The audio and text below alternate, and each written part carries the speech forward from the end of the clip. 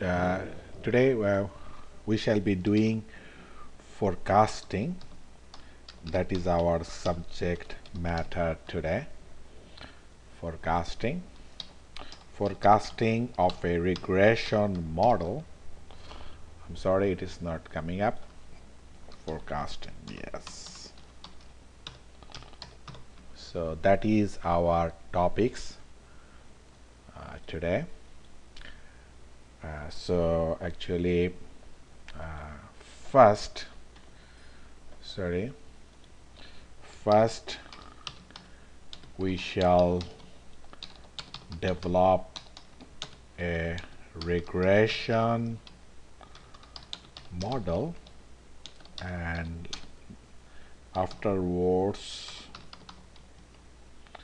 afterwards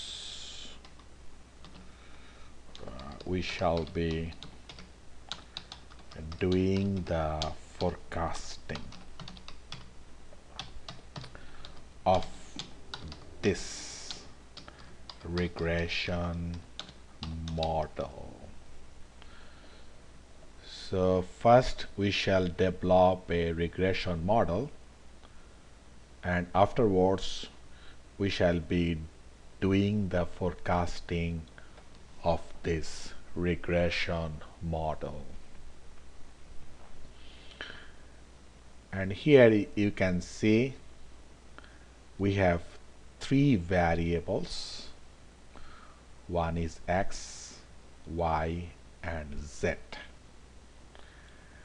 And here y is the dependent variable. And x and z are independent variable. And here we have data from 1980 until 1994 that means we have 15 years data.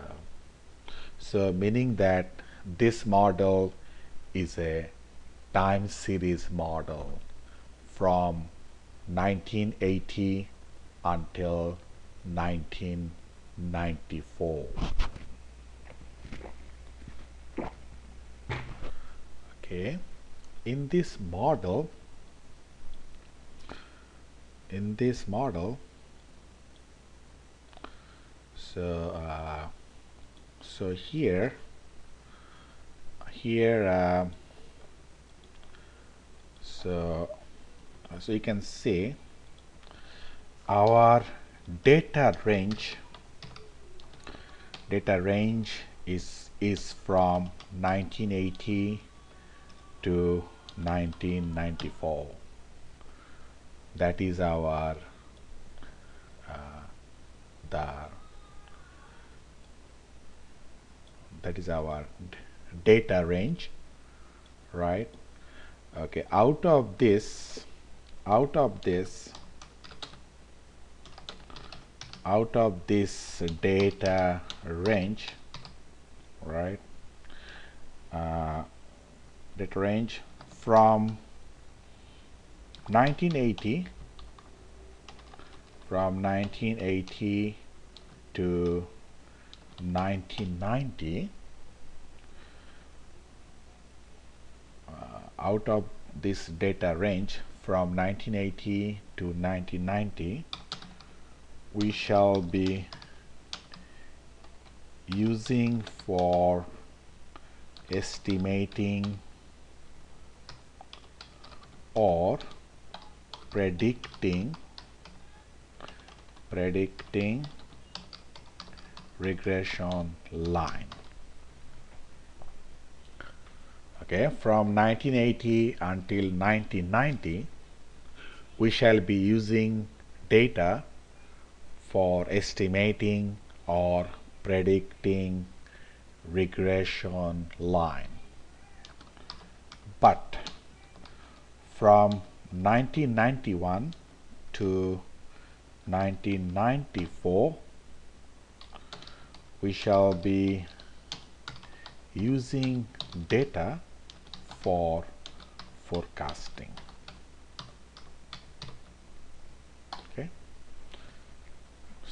meaning that from 1980 to 1990 we shall estimate the regression model.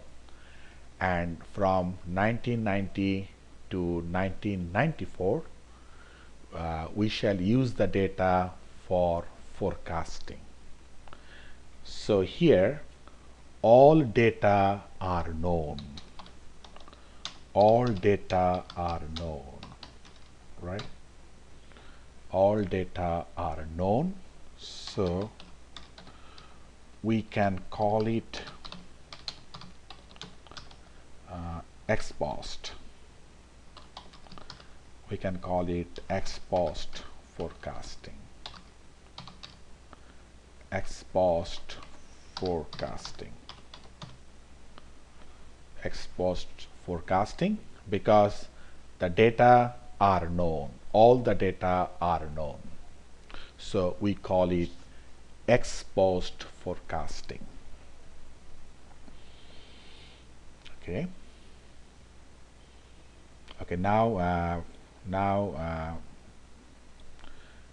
first we we we estimate the model from 1980 to 1990 so first I go to quick estimate equation right?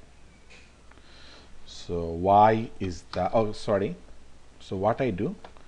First I, I show you all the variables right? X y z. I open all the variables as a group. So here are the data variable z x y from 1980 until 1994 so uh, these are the variable time series model right? From 1980 until 1994 so now we can estimate the regression model. So I go to quick estimate equation. So the first is dependent variable that is y. Then c is the constant. X is the independent variable. Z is the independent variable.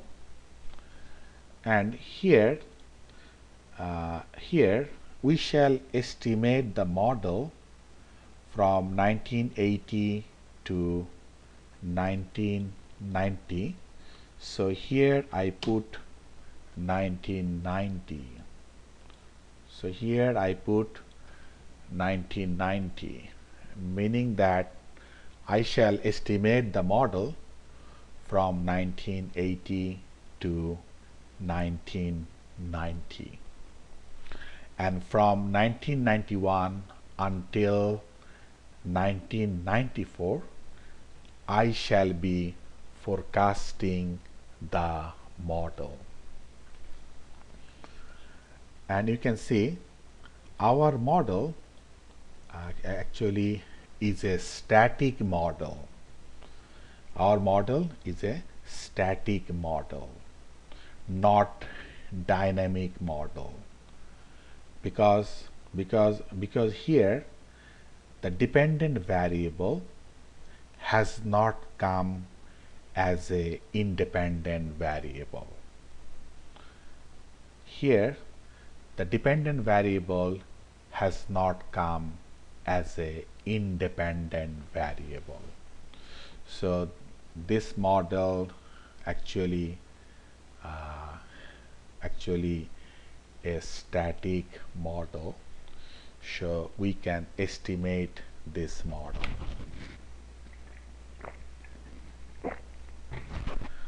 okay. We shall now uh, estimate. I put as a okay. Okay. So this is my model right? Estimated model. You can see from here. Y is the dependent variable.